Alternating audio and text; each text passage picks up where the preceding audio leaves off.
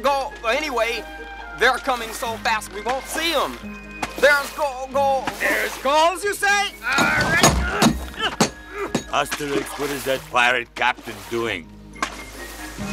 This time I won. You're too late to sink my ship.